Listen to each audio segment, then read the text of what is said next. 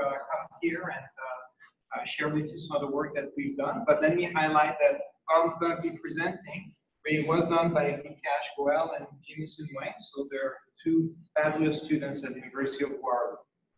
Okay. Um, yeah, so a bit more background about Borealis AI. So uh, we are here in one of the offices. There's actually five offices across the country, and Borealis AI is, is a research institute that's been funded by Royal Bank of Canada. So we are working on, on a number of problems. Perhaps what's interesting is that uh, compared to other research centers, we do what we call integrated research. So, we start from applied problems, and then uh, we go all the way to the fundamental research and then publish as well. Um, so in terms of research, that includes most of the uh, exciting topics in AI, so machine learning, reinforcement learning, and NLP, provision, private AI, fintech, and, so on. Uh, so in any case, if any of you are interested uh, to learn more about Borealis AI, feel free after my talk, you know, to chat with uh, the researchers here, and uh, it's an exciting place. Okay. Um, as Marion was explaining, so I actually wear two hats. Uh, so I am a professor at University of Waterloo half of the time. The other half of my time is spent here at LSAI. Well, when I say here, I mean in Waterloo, but still at LSAI. Um, so with the University of Waterloo, so uh, my group is working on a number of topics. Uh, so uh, I was very tempted to give a talk uh, that could touch on as many things as possible. But then, you know, at this point, I would not be going to depth about anything. That, that would be frustrating. So I figured, let me just pick one thing, one thing that I think is exciting and tell you about it. So, so today I'm going to talk about motion-oriented reinforcement learning. Um, we'll see in a moment what that is. But in any case, if any of you are interested in any of those other topics, I'm, I'm happy to talk about them. Okay, um, so here's the outline for today. So first, I'll, I'll, give a bit of background about reinforcement learning, in particular, one major problem, data inefficiency. Uh, we'll see a solution uh, that's within the paradigm of self-supervised learning. I'll explain this in a moment. And then the particular solution, we call it motion-oriented reinforcement learning. And then the key is that I'm going to tell you how we can do unsupervised object and motion recognition that will allow a reinforcement learning agent to, think at a higher level instead of thinking at the pixel level.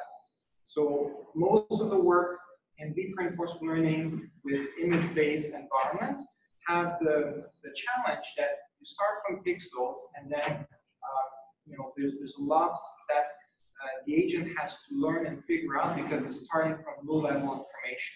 But in comparison, we as humans, when we start planning and so on, then we often start doing this at a much higher level because um, the lower level parts been taken care of.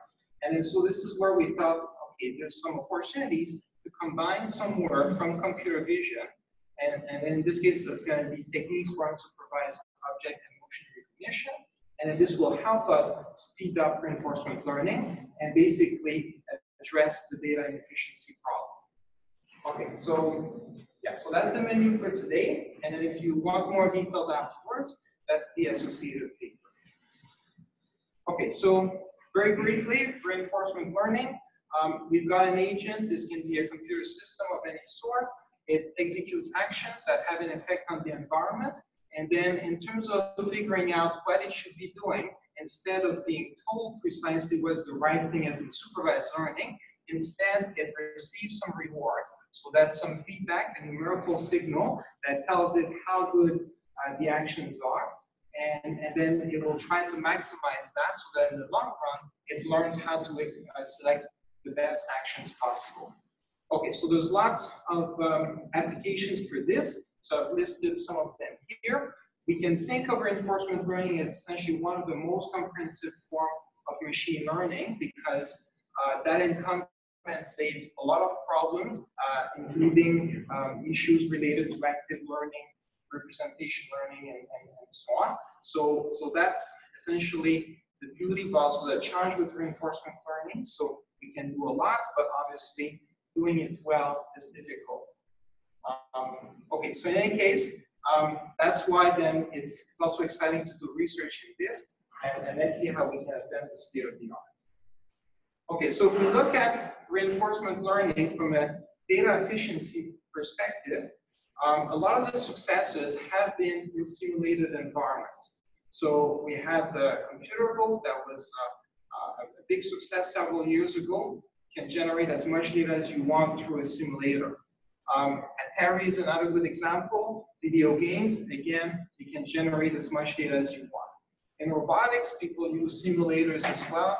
This is video games again. So in general, many of the successes that we've all heard of rely on, on, on, on this uh, property that um, in, some, in some environments, you have a simulator, and therefore data is not an issue. But in the industry, that's not the case. And very often we like to have some techniques that can learn um, much more quickly, perhaps at the same rate that humans would, would learn as well. And, and that you know, poses some challenges. Okay, so just to quantify things a little bit. Um, so in 2017, there was a paper by Schulman et al. that um, compared several baselines. This was in the Atari domain. And if you look carefully at those graphs, what's important is in fact the x-axis. So this shows the number of frames that were used for training an agent to play various Atari games. Uh, the the y-axis is, is the reward, so higher is better. But the key is that to get a, a good policy, in most of those domains, it was taking on the order of 40 million frames. Okay, so 40 million frames is a lot of data. Obviously, if you're playing video games, it's just a simulator, doesn't matter how long it takes. But still, if you compare that to a human playing Atari games, uh, humans can play way faster. Uh, you know, if, if, you're put in front of a game that you've never played, often you'll pick up the game in a couple of trials, and maybe you're not going to be an expert immediately, but you can get good level relatively quickly, right? So there's a huge gap between what our algorithms can achieve and what humans can do. Okay, so now let's have a look at how um, deep reinforcement learning typically works. So if we're in a visual domain, like a Atari, then we feed in a sequence of images about the game. And then typically we've got some type of deep neural network, most of the time some form of convolutional neural network that will either compute some actions if it's an actor or some values if it's a critic doesn't matter. The point is that it, it essentially computes these things. And, and then there's going to be some reward that's used to uh, train the parameters. But now if we look at this picture, what's interesting is that we have a reward, and here I just put a dot to indicate that it's just a tiny bit of information. And in fact, in some games, um, typically you, you would just win or lose at the end. So you get a very sparse reward because you have to execute lots of actions just to find out if at the end you win or lose, and that's your one bit. Yeah. Can you give another few examples of uh, reward reward uh, So yeah, okay. If it's not games, like let's see. Um, in a game, like uh, aside from winning, what, what are the other possible? Okay, so in, in, in various games, it's going to be points as well. So, so then, you know, often there's a score, like let's say you're playing Pong, then each time that you score against the opponent, win a point. So, so then uh, points would, be um, another form of signal that would be used as, as reward. So in any case, anything that, that would typically be measurable and numerically uh, can be used for, for this. Okay, so yeah, so in many environments it's sparse. Even when it's not sparse, let's say that every time step we get a reward, that's just one number. And now the problem is that we've got this deep neural network here, fairly complex, that ingests images fairly large, right? And this deep neural net will typically have on the order of millions of powders. So now if you think about it, you've got one number, maybe every time step, that's used to train millions of powders, we've got an imbalance. And at some level, it's no surprise if it takes 40 million frames or 40 million time steps to get a good policy because, well, we've got millions of powders here. So yes, you do need on the order of millions of, uh, of reward signal in order to train millions of powders, right? So, um, so that explains, at least at some level, part of the reason why it, it does take so long for reinforcement learning to, to converge. And any questions regarding this?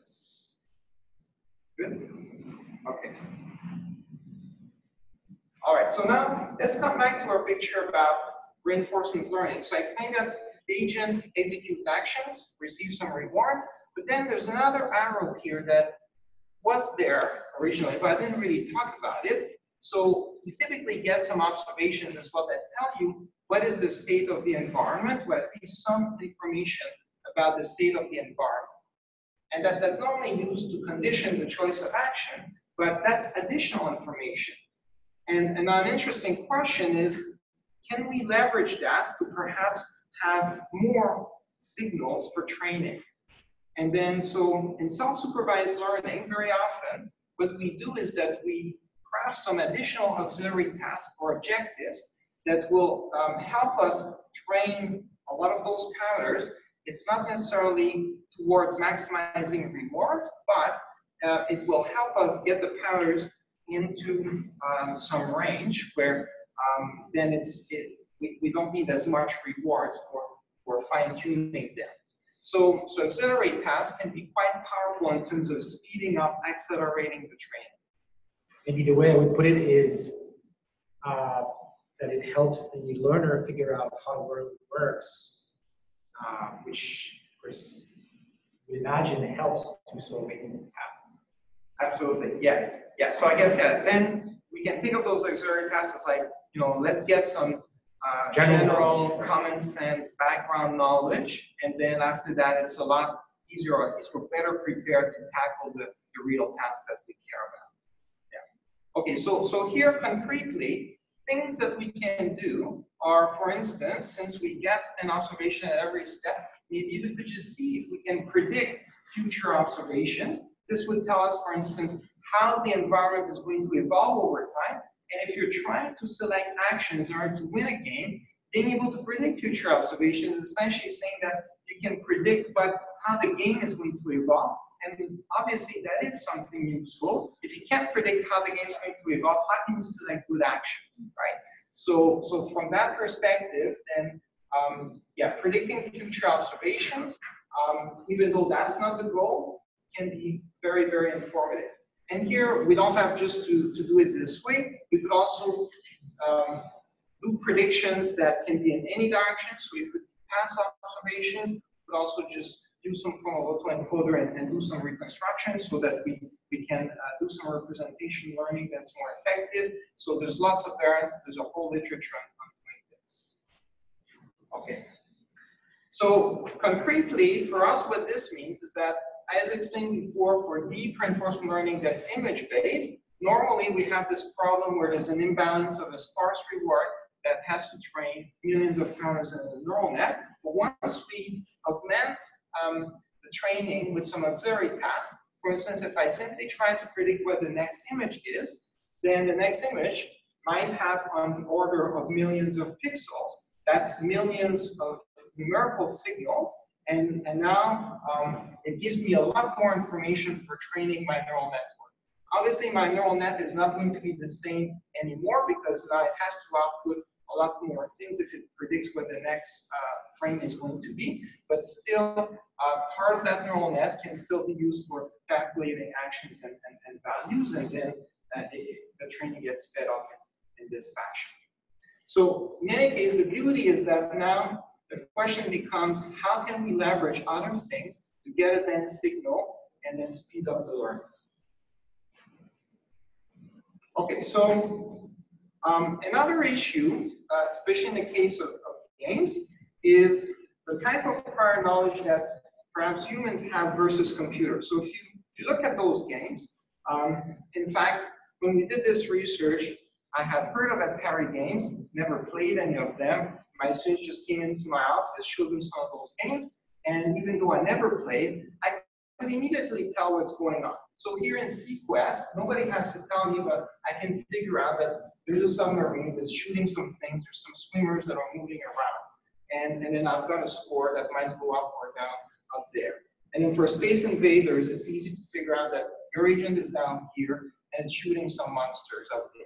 For Pong uh, or breakout, we've got a paddle, and essentially we want to make sure the ball doesn't fall down, and, and, and then we'll gradually destroy the cement, right? So, so here you see um, we can naturally figure out these things, and uh, that's the beauty. When you start playing those games, right, then you start immediately thinking in terms of what's going to be my strategy. But now you might ask, well, what does a computer see instead? So for reinforcement learning, what we're really feeding in, which is the same information, the same images, well, for the computer, it's, it's a sequence of pixels. So, so that's like just one large array. And, and then the first thing it has to do is figure out how to interpret all of those numbers, right? So what if I, instead of showing you those screens to play the game, I was going to feed you a matrix of pixel intensities, right? Could you play the game well? How long would it take you, right? So most of us would just fail miserably, and it wouldn't matter how long we would try. So RL agents are essentially right now uh, put into this really uh, challenging paradigm where you know the real problem is not actually figuring out how to choose actions here. It's, it's just figuring out how to interpret those pixels. So there's a case of humans doing something like this. Uh, you know, blind people who are learning to see from uh, sensors that send signals on their mouth, on their tongue. They, it's like they have to build a visual system out of, out of the tongue sensors, and so they really have to go from the ground up. They are able to, to, to do it to, do it to some extent. I mean, not the high resolution. Is not enough. So humans can do it. I don't know what the numbers are. I don't think they play video games. yes. Yeah. So okay. I, I guess yeah. I, I, should give more credit to humans here. So yeah, we are capable of, of really difficult things, uh, and we still have the upper hand. I think that's that's the analogy. Like yeah, yeah. And, and it, also because you can't use your prior knowledge from evolution. Like your tongue was not meant to see. So it's really from blank slate. Yeah. Okay, so in any case, now let's say we want to level the playing field between humans and computers. I would argue here that, um, okay, from, for humans, for us, um, the way we immediately get to understand what's going on is that we do recognize objects and then we also see how they move and, and then we can start planning based on this. So from that perspective, right, and in, in video games, very often what matters are objects and, and their motion, well, can we leverage this to essentially provide higher level information to an RL agent and, and then speed up the, the learning? Okay, any other questions regarding this? Good? Okay. All right, so, so now um, what I'm proposing is that, well, um, in our framework for deep reinforcement learning, where we've got a deep neural network here, um, we need to realize that these, this deep neural net is really responsible of two things. It's responsible of doing the feature extraction. Mean, that's the beauty of deep neural networks. Nobody handcrafts the features, but still that explains why it's taking so long because it has to learn how to interpret the features. And after that is, is doing policy optimization. But if we could get it to uh, focus more on the policy optimization and, and essentially do something to uh, ease the burden on, on the feature extraction and interpretation, then perhaps we could get a speed up. And, and this is where, again, we're going to look at extracting, um, well, segmenting objects and, getting their motion. Okay, so yeah, so then again, in those games, right? If we can simply um, get a computer to learn how to segment the objects and feed that to a reinforcement learning agent, then we should be able to get uh, some nice Okay, there we go. Um, okay, so so now I'll introduce our technique for doing this, MOREL. Um, and yeah, the benefit will be that as a byproduct of recognizing the objects and, and their motion, then not only are we going to be able to do policy optimization faster, but also have a greater interpretability of the policy. Okay, so the technique has two phases. Um, in phase one, we're going to do the segmentation, and I'll show you how we can do it in roughly 1% of the frames that a normal deep RL agent would take. So um, the segmentation I argued earlier is, is, is really the part that is difficult from an RL perspective, but it turns out that if we leverage computer vision techniques, then that doesn't have to be so onerous. And in fact, we'll see how we can do it in an unsupervised way, and then we'll just use 1% of the frames. Now, during that phase, our agent is going to execute random actions and here, it's not a big deal because if it's just 1% of the frames at the beginning, even if we try to get our agent to be smart and pick good actions, well, since it doesn't know anyway how to interpret uh, the frames, then it would, it would effectively be executing random actions. So there's no loss really in, in executing random actions. But, but wouldn't you get something uh, more representative of the kinds of images that you would get in the game if you were to use a, a better policy here, right? Because maybe you get stuck in the beginning, like level one, and you never go to level two if you want to do good policy. Absolutely. Okay, so so yeah, I guess here this phase is just going to be about doing the segmentation. In the second phase, where we're going to do the policy optimization, the truth is we're going to continue to learn how to segment so that if, let's say, it's a game with multiple levels or different screens, then it can continue to learn how to segment what matters in, in the rest of the game. Okay, but yeah, the beauty is that now you see the policy optimization is going to be both based on raw pixels as usual, but also based on the objects that have been segmented in your motion. So that's higher level information, and we'll see that we can get a speed up doing that. Okay, so in terms of computer vision, uh, the problem of um, segmentation can be thought as follows. So let's say we've got a scene and we want to segment out uh, different things like buildings versus the road versus cars versus the pole and so on. And it's a problem of essentially um, uh, classifying different pixels and, into different classes. Um, obviously, if we do this in a supervised way, it's labor intensive, and the computer vision uh, community has lots of ways of, of doing this in an unsupervised way, and that's what we'll leverage to. Now, from a reinforcement learning perspective, it would also be completely uh, impractical if we had to use some supervised technique because then that would mean that we'd have to somehow tell the agent how to do the segmentation first and, and then after that it could start using this. But if we use an unsupervised technique from the start, then um, it'll be the same as if we were using any other type of reinforcement learning. Okay, so the ideas that we're going to leverage are nothing new. Uh, so we're going to leverage optical flow. So for instance, if you've got a scene and then there's a person cycling, two pedestrians, and you simply measure the flow of every pixel, then um, notice that objects tend to, objects that are in motion or people that are in motion tend to have uh, flows for their pixels that are roughly the same. So it already kind of gives you a sense that perhaps there's an object here and where you might want to do the segment. Um, yeah, so these are just examples.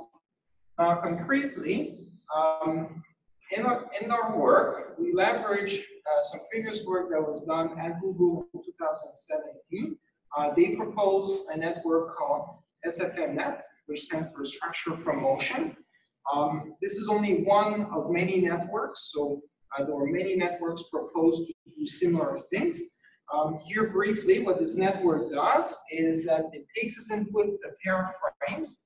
Um, the top part is computing camera motion, object motion, as well as uh, some object mass, and eventually uh, uh, estimates the flow of every pixel. The bottom part um, takes care of depth information in 3D environments, so it estimates depth, and then that helps to also um, calibrate what the flow is going to be because a motion of an object that is close versus far will look different in terms of the flow, and, and, and so that, that's important. Okay, so this network can do uh, or can be trained in an unsupervised way to do segmentation of objects simply because um, what it does is that it, it estimates flow at the end.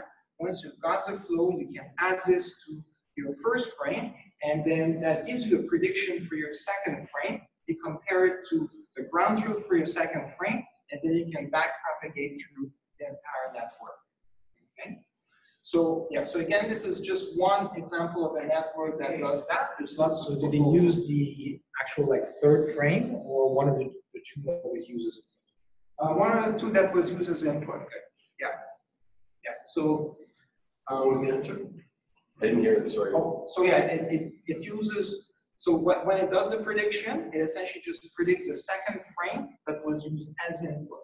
Okay, so here we only use two frames, and we, we can think of this as like some form of structured autoencoder because the input is, well, the output is part of the input. Okay, so we're simply going to reconstruct the second frame. And here, just by how the network has been designed, there's enough structure to constrain uh, some of these uh, blocks to be interpretable as camera motion, object motion, and, and also object masks. Okay, uh, so that's that's the beauty. Okay, any any additional questions regarding this? How well does it work? Okay, so um, in the paper for SFMNet, uh, they had some of those results. These were based on the KITTI data set. Uh, so they, they took some scenes um, for taken by uh, cameras at some intersections. I believe this is in the context of uh, uh, smart city type research. So, and the problem is, can we segment out vehicles that are coming and leaving? And then, so here, you've got, what you're really interested in is to segment out the moving objects. So, so then it learns how to do this automatically. We can see the predicted motion mask in this column. This is the ground truth here, so tends to work quite well uh, for the top rows. Uh, the bottom two rows, uh, did not work well. Um, you can also look at the predicted flow versus the ground truth flow. So you can see that this approach is not perfect, but it is doing something reasonable. So here, I'm, I'm going to claim that for perspective, because I'm going to show you how to use that in reinforcement learning. I'm not actually interested in having a perfect segmentation, right? So think of it like, let's say you're driving a car, right? And you're trying to control the car, so you need to know where are the obstacles, what's the distance to other cars and so on. But you could not answer precisely like what's the distance at the millimeter level for all the obstacles and so on. So you could not segment that in your head perfectly what's in the scene, but you know roughly where things are, and that's sufficient for you to drive a car, right? So here's going to be the same idea for reinforcement learning. I'm not interested in a perfect segmentation. I just need a reasonable segmentation that will tell me where the objects are and roughly what their motion is, and that, that's going to be sufficient for planning.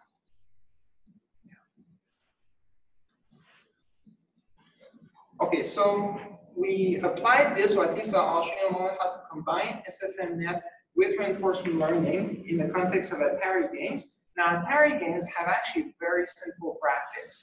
Uh, the graphics are 2D, so we don't need the 3D part.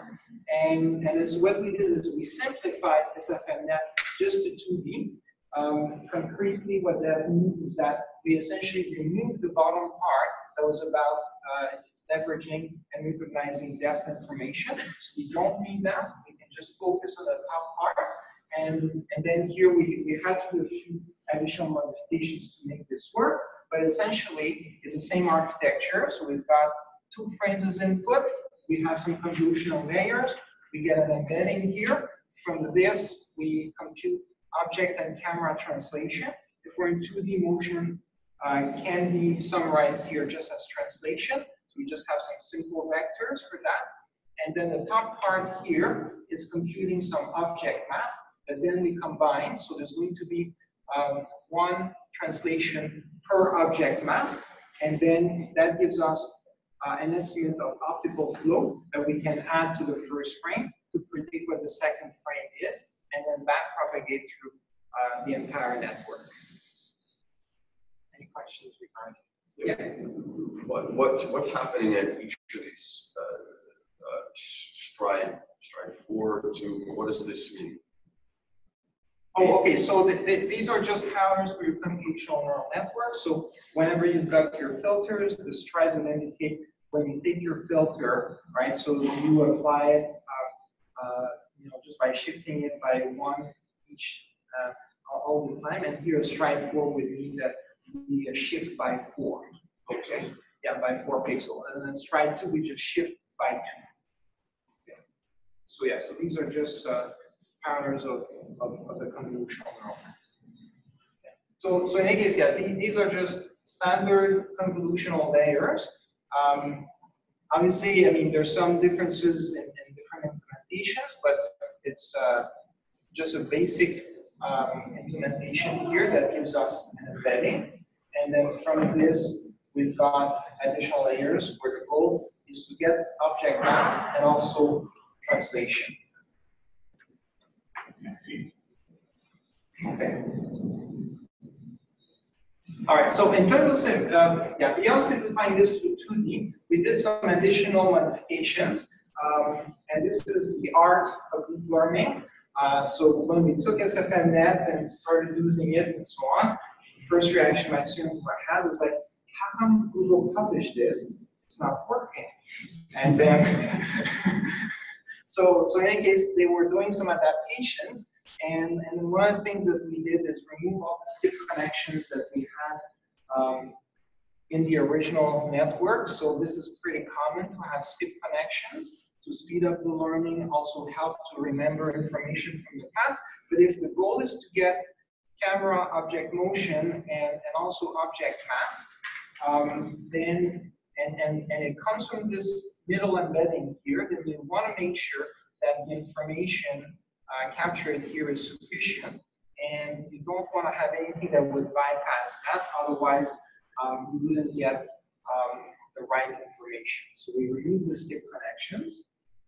Um, we also use a different um, loss function. So um, the most basic thing would just be to uh, measure reconstruction loss by minimizing Euclidean error. But in the case of images, that's a bad idea, simply because um, Euclidean loss does not align well with um, uh, what is uh, uh, the, yeah, what, what, what humans would tend to see as, as differences. So there's a whole literature in computer vision on about other losses. So we use a structural dissimilarity for that.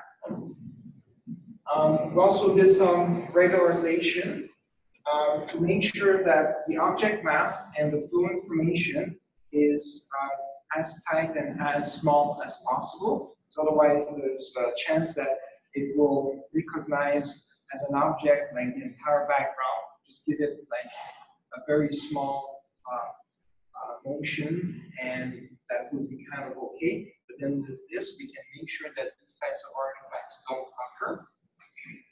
Um, and then finally, we also did curriculum learning. So here, um, we started with uh, our reconstruction loss to get um, good prediction that, that gives us rough uh, segmentations.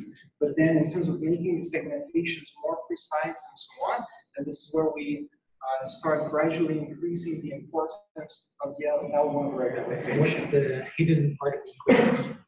Okay, so this is an artifact of our completion system. So, yeah, let's move it down. Yeah, yeah, so this is just a way with the regularization loss. We're simply increasing the importance of the regularization. So if you just had a fixed value, it didn't work. So if, if we start with um, the regularization loss immediately, then the problem is that um, it's, you know, we're asking it to solve a hard problem, it might get stuck, and the students found out that they were not getting good results consistently. By starting with no It's like setting everything to zero, for example. yeah, yeah. Yeah, whereas, yeah, if we just start with the reconstruction loss, then it, it tends to find some rough segmentations that, that are far from perfect and often include more pixels than needed. And then by including the regularization loss gradually, then um, it, it, it forces it to, to be more precise. Okay, So that's roughly what the TK means? The time? Uh, enough, gave the translation. So here we've got an object mask with a translation, so that's the motion.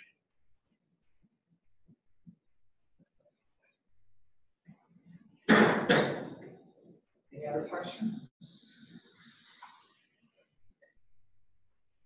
All right, so just to illustrate, so if we take the game of breakout or Pong, uh, we feed in two frames, that's our input here. Then uh, the network will compute some object masks, so we can see here in green. Uh, this is this one here is the sum of all the object masks. Here, this is the most salient mask. In this game, there's effectively just a panel and a ball that are moving. So that's what we want. That's what we wanted to recognize in segment tab. That's exactly what it does, and then it gives more importance to, to the paddle. Uh, we also have the optical flow color coded here that indicates the direction of the motion. Okay. Now, as you can see, the segmentation is far from perfect, right? Like we don't have clean segmentation, but again, the point is that this is not the output, that's not the goal. We're going to feed that to a reinforcement learning agent, and that's just going to be uh, enough in terms of high-level information. Pong is similar. We have two paddles instead, and it does a good job too. Um, here are three more games, Seaquest, Space Invaders, Beam Rider. Um, it recognizes the objects as well, roughly. Uh, Space Invader is interesting because here we've got a whole bank of monsters that are moving. Uh, in fact, here there's a question about how many objects can we recognize, and then uh, our implementation is essentially such that we simply start with an upper bound on the number of objects that can be recognized, like 20. Um, but then those objects, an object here we don't enforce um, that the object be um, contigu uh, contiguous, so uh, it can be different regions of pixels that are uh, simply moving with the same motion.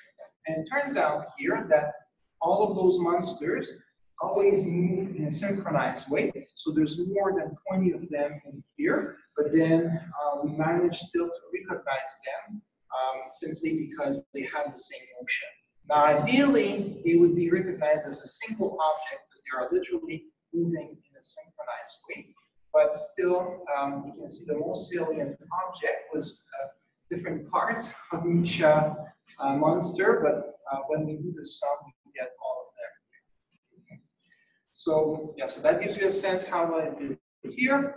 The last one, Beam Rider, is a very interesting game because um, there's some visual artifacts in this game that are in fact completely irrelevant to the game. So it's called Beam Rider because we have some vertical lines that are beams that are essentially just flowing down the screen and, and they're just a visual artifact.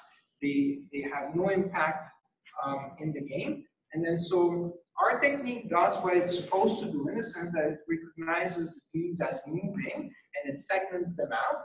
But then the problem is that because those tend to be um, more important in terms of number of pixels and, and so on, then often it fails to recognize our agent or even some of the bullets that are being shot and, and also the, uh, uh, the little monsters that are in fact very, very, very small and barely visible. So we'll see in a moment that this is an example of a game where our approach did not work well because we're essentially going to feed it with noise from having recognized beams that don't matter. Any questions regarding this? So your big hypothesis is that because you want to summarize the input, you want to take the noise away. In majority of games, the most important information is the moving object. That's that's the big hypothesis. Yeah, absolutely. So yeah, so that's our hypothesis, and, and obviously this will not work everywhere. And then there are these where uh, you know there might be a bomb or a treasure that's static, doesn't move, and we won't pick that up.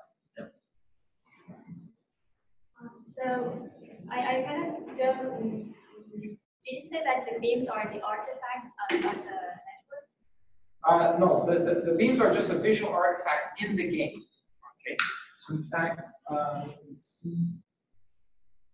I might as well show you some of the videos. So I guess you can see this is the game um, being played on the left hand side, and you can see there are some beams that are just flowing down, and that's just part of the graphics of the game. Okay, but they, they actually don't matter. They, they, they, don't do anything in the game. Um, this is more like a more technical question, but, um, so your network is actually a fully convolutional network, right? Because you're recon- reconstructing the frame, right? So, um, do you do any, um, like for upsampling, do you do, um, do you use convolutional transport force layers, or do you just interpolate the, uh, the, the features? Um, Because Yeah, so you do some upsampling right here to get to the object. Because it's like, it's a very common um, problem in fully convolutional networks, if you, if you use um, convolutional transpose layers and uh, try bigger than one, it introduces artifacts to, to your final image. So most people do just bilinear interpolation or something like that. Just Very, very good point. So here, uh, yeah, my students did that. Um, Neither my students nor me are experts in computer vision for this. Um, So they took um, what was common in the literature at, at the time and tried it, and it worked reasonably well. But uh, now that you're suggesting this, perhaps we should consider um, other types of um, uh, layers, uh, bilinear layers to, to do this more precisely. Yeah. Okay. Okay, so we're now ready to combine this with reinforcement learning. Um, so what I've got here is a top part that corresponds to our segmentation network. Uh, so I've just simplified it here.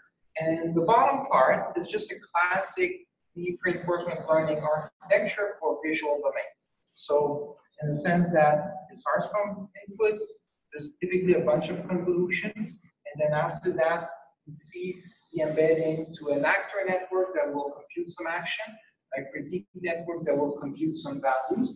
And here, um, for what we're proposing, it doesn't matter what type of actor or critic we use. Our technique can be combined with essentially any type of reinforcement learning technique. The, the main thing that we are doing here is essentially creating a link here, so then a, a path allows us to feed uh, an embedding of the um, object mask and the, uh, uh, the motion information that gets concatenated with whatever's been processed from the raw pixels and fed into the actor critic network. Okay? So, so yeah, so our contribution is really in terms of combining this with um, any classic reinforcement learning architecture simply by concatenating the high level information with the low level information. And here for training this network, so we have classic maximum maximizing of rewards done for uh, the bottom part, and then minimizing optical flow error for the top part. Okay. So here at the beginning, for the first 1% of the frame, we're simply going to train the top part of the network to learn how to segment. Um, we don't bother training the bottom part at the beginning because it, you know, executing random actions or otherwise executing whatever comes out of here would, would be roughly the same. It would be random anyway. Okay. After that 1%, then we start training the bottom part as well. And we continue training the top part too. So now you see uh, both objectives are essentially used to train this part of the network. Right? So the bottom part is still only trained by rewards.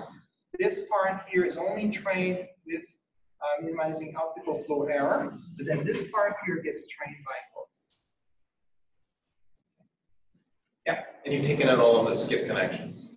yeah, so we, yeah, we still removed all the skip connection so that this embedding layer, um, yeah, so I guess, yeah, what's interesting is that we put a connection from the embedding layer to the reinforcement learning region as opposed to a connection from the explicit object mask and the explicit motion um, vectors, because that would have been the natural thing to do. In fact, that was the first thing my students tried.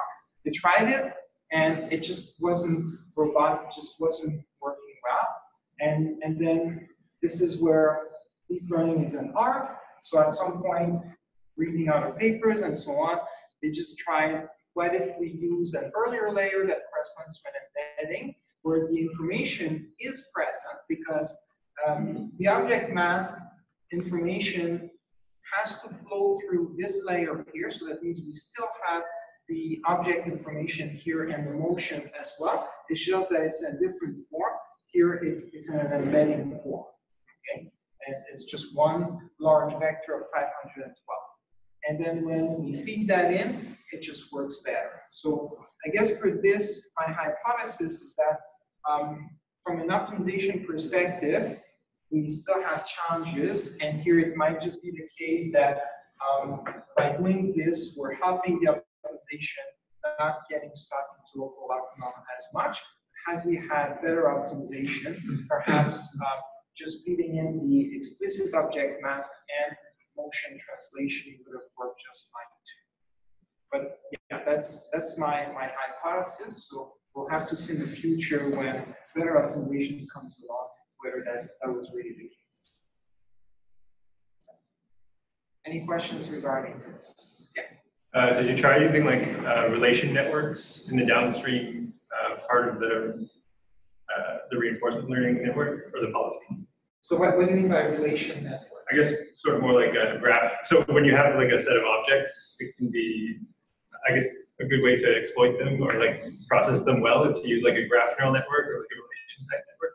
Right, yeah, that, that's a great idea. We, we haven't done this, and in fact, yeah, that's what we've been thinking for, for future work.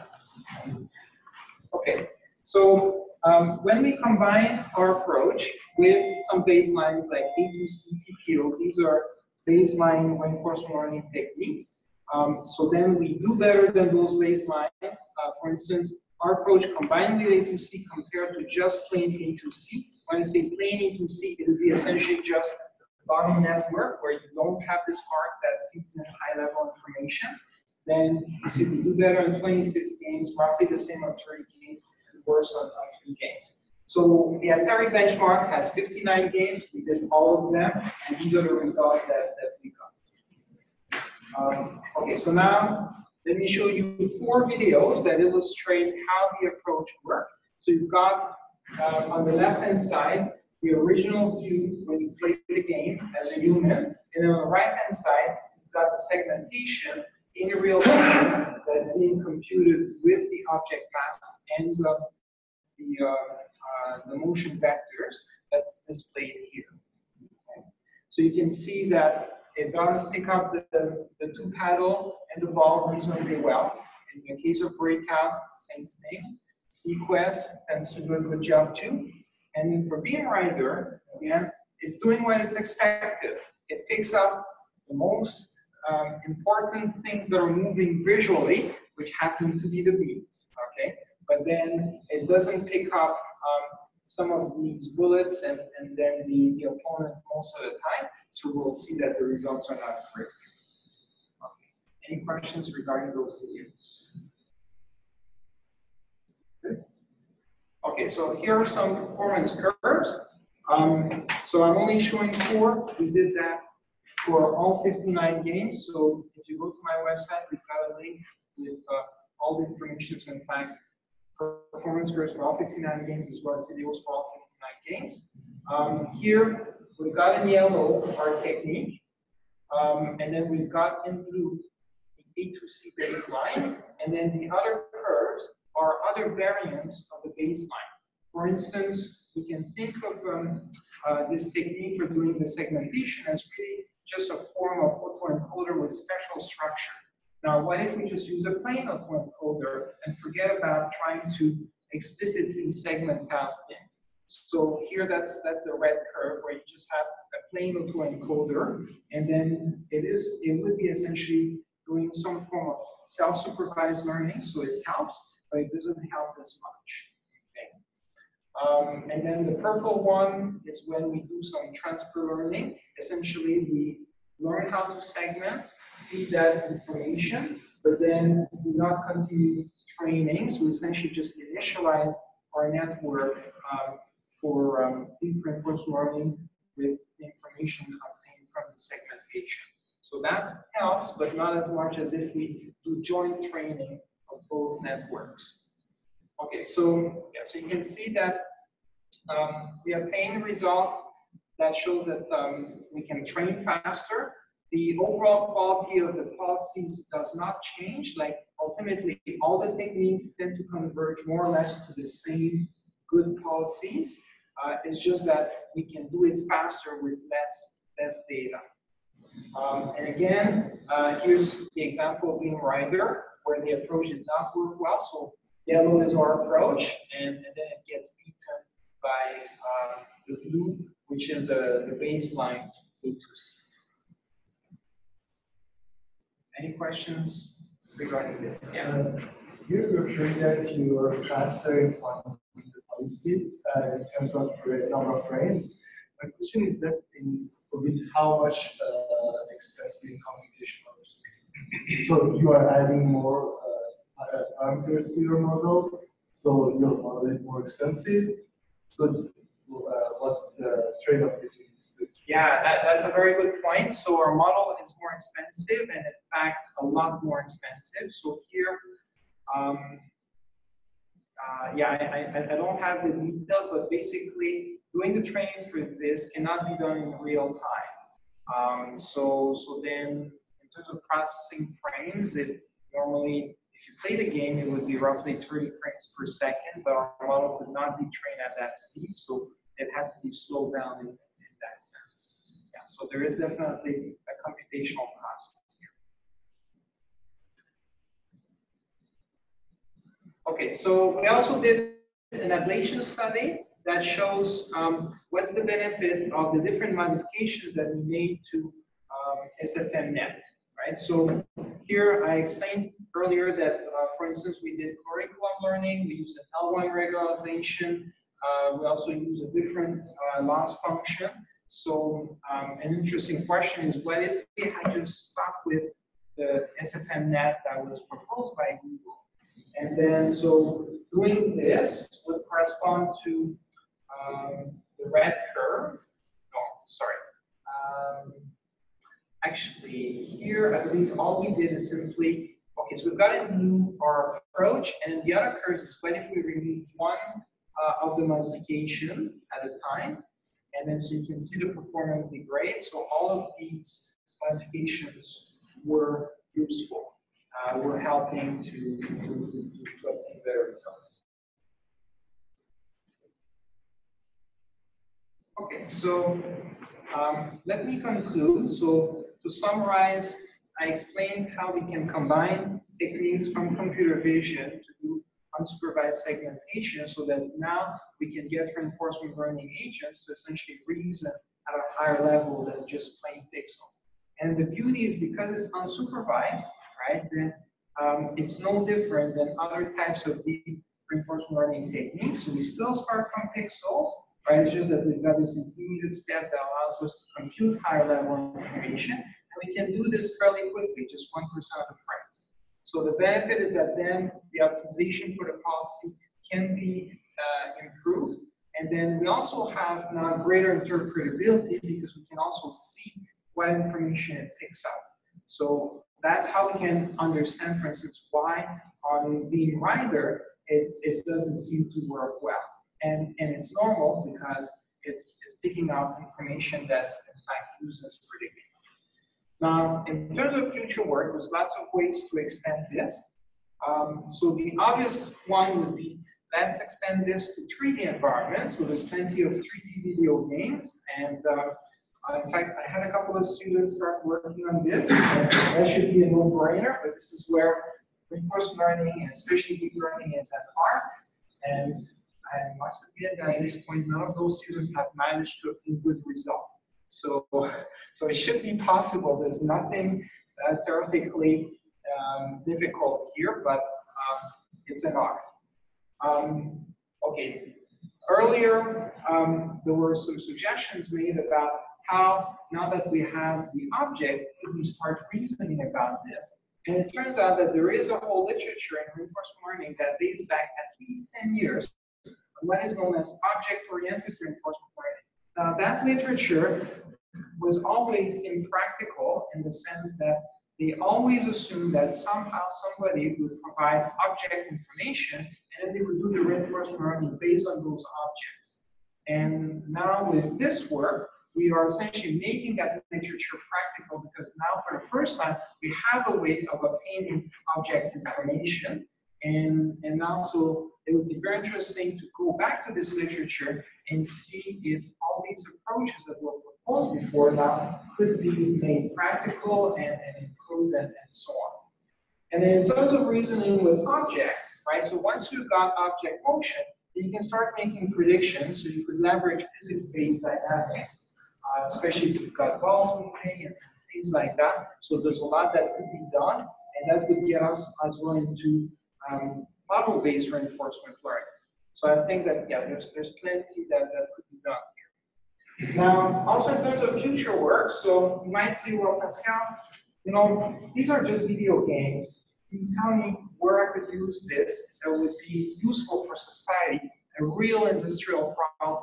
So here, let me suggest that, let's say we want to do vehicle tracking and traffic control. So in fact, the original SFMNet was tested in that context. And I've had a chance to talk with a few people in various organizations that are looking at smart cities. And one problem that they have is that they deploy a camera at an intersection. Uh, very often they do supervised learning to do their um, object recognition. So they have a phase of collecting data, labeling it, then they deploy, and, and, and so on. And when you think about it, it's crazy because they have to do this for every single camera at each intersection because um, the setting is slightly different and, and, and, and so on. And, and really, they, they just can't scale things. So now there's a possibility to really uh, scale this in the sense that you could deploy those cameras, uh, you just turn them on and then let them do the unsupervised learning so that we can gradually recognize to predict objects, motion, and, and so on in a self-supervised way. And then after that, the traffic control is often, or at least could be often done with reinforcement learning. So, so then uh, this would be a perfect fit. Uh, so yeah, so if anyone was interested in that, uh, I'd definitely be uh, interested to talk more uh, with you. Okay, so um, yeah, so this summarizes what I, I talked about, and then let me stop here and I'll answer any further questions.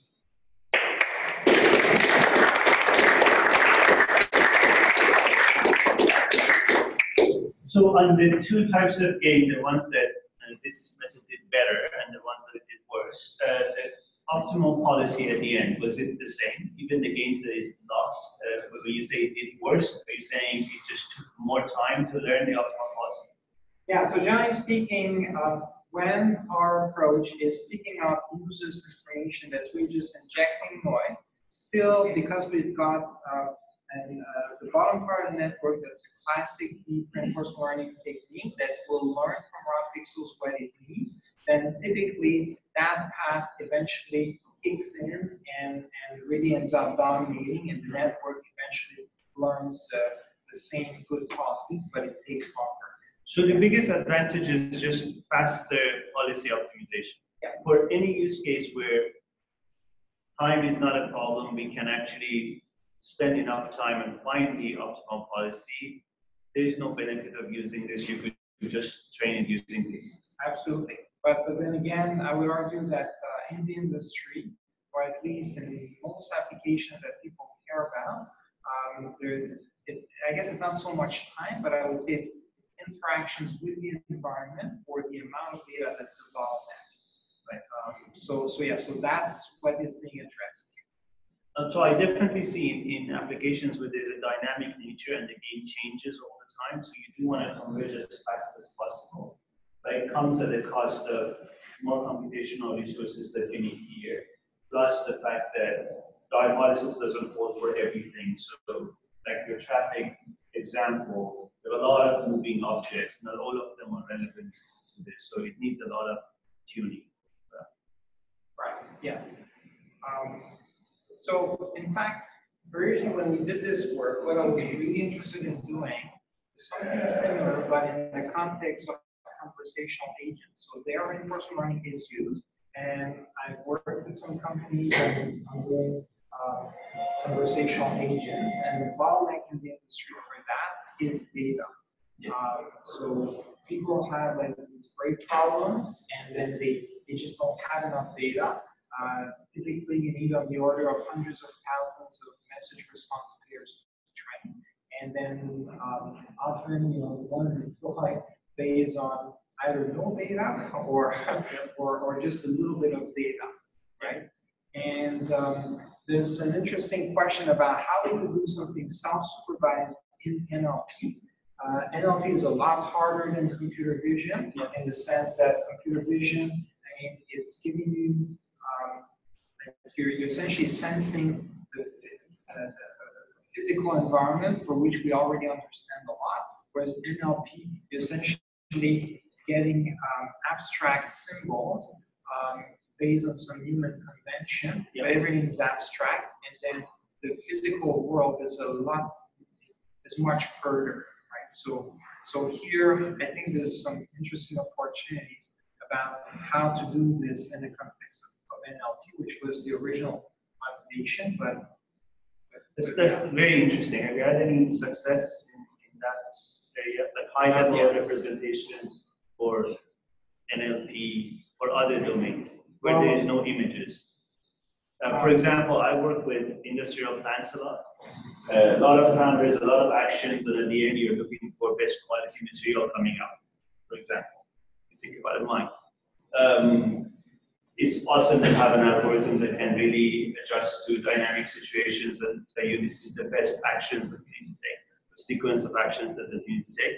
But there's not enough data to that. Exactly, yeah, yeah. So have you had any results beyond the, the classic computer vision domain? So, no, we haven't succeeded. Um, there's, a whole literature now that's starting in terms of structured embeddings for NLP. There's also a lot of work in terms of uh, uh, combining NLP with various forms of grounding through computer vision or other types of sensors that, that is very promising. But, but yeah, this is, this is a, you know, a a really fundamental problem. Um, I'm wondering for the breakout, uh, kind of like the segmentation layer is getting some feedback from the uh, reinforcement learning, like so it's kind of getting a, a reward. Wouldn't you think it would kind of like turn down the importance of some pixels because it, uh, it's getting more reward? Like, is there a reason that wasn't happening or? Yeah, that- that's a great point. So in fact, at the beginning, uh, when we did this, we thought, wonderful, we're gonna have the reward signal that will also tell us hopefully which objects are relevant. Yeah. And then in the case of Beam Rider, it should learn over time that those beams are irrelevant and, and, and so on. Now, again, deep learning is an art. In theory, we think this should have happened, but we didn't manage to get anything conclusive to demonstrate that in any environment. But I would think that, you know, with uh, more trials and more ideas and so on, this should be possible. So, um, uh, just on the twenty-third slide, um, Twenty-third slide, okay? Yeah, uh, so in, in here, uh, I see that, within four million frames, it is, it is, it is able to learn uh, some policy, but is this same as what an A2C or a classic reinforcement learning algorithm would learn at forty million or, or basically the optimal policy learned by simple reinforcement learning agent and the optimal policy learned by that? What is the comparison between these two? Yeah, so they're, they're roughly similar. So in fact, here in each one of those plots, so we're comparing to plain A2C. Uh, plain A2C is the blue curve. Okay, so this is, this is the blue curve here. So you see A2C is converging to the same thing. Uh, so here with more time, it will converge to the same thing. And here, okay, it's doing slightly better at the beginning. But generally speaking, uh, all these approaches tend to converge more or less to the same quality of. But So here, better means how? Yeah, exactly. So here that was just our goal. So can we do it faster with less interactions? So in one of the games where there was a moving object that was not important, you could not do as well, right? I don't know if it was Beam Rider, yeah, Beam Rider. Beam Rider, yeah. Do you think you can have some sort of attention over moving objects to the which one of them is important and which one is not? Yes, so we in fact tried that. So at some point we tried putting in some attention layer and then we thought it was working, but then when we tried this across all 59 games, then we realized that, uh, okay, maybe we got lucky on one game. It wasn't working generally speaking. Uh, and then, uh, and then at some point, my students removed the attention layer and then it was working better. So, so then, okay, let's not use the attention layer, but in theory, I agree with you that yes, we should be able to insert an attention layer and then it should use the rewards to learn over time um, what are the objects that, that are most relevant and pay attention to those. So here you use two frames to make your prediction of the next action. Yeah. And if I'm correct in that chart, most of the time they use the last four frames. That's right. And there might be cases like computational AI, where you need even more history because you're in partially observable, world. So is this model and architecture uh, adaptable to a case where you need more than two actions? Yes, so yeah, that, that's a very good observation. So yeah, most of the literature uses four frames.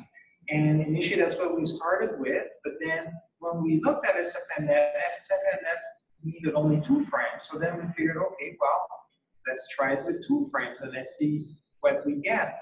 And, and the results were just as good. So at that point, we figured, well, we don't need those four frames, and that's a good thing. Uh, but you're absolutely right too that if you're in a partially observable domain, then you would need like many more frames from the past going back to whatever information needs to be remembered. Um, so there, there have been several papers about uh, partially observable reinforcement learning, and then they tested Atari, and when you look at the results, they had to modify Atari to inject partial observability because Atari tends to be well observable. So, so, so then they, they essentially um, skip some frames, drop some frames to induce partial observability. So, so Atari, rough, generally speaking, is fully observable. So we have time for one more question and then Uh, so you mentioned the, the difficulty to move into 3D, and you mentioned like the difference in approach between the 2D model and the experiments you've been trying to in 3D. Uh, so, so for 3D, it was mostly a question of going back to the original SFMNet, and then uh, really, I, I, I think it's just the fact that is an art more than a science, and then um, um, the students who tried this did not succeed, but I would think that you know somebody with the right ingenuity, the right skills, and and, and so on, the right intuitions uh, should succeed. Using that math, for example, I think like Yeah. trying to Yeah. Okay, that's time for again.